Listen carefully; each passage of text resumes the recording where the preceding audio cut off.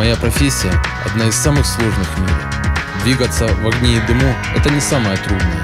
Гораздо сложнее постоянно быть готовым рисковать своей жизнью, чтобы спасти чужую.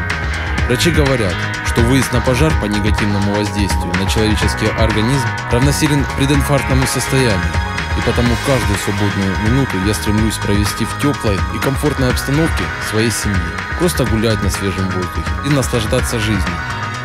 И это здорово,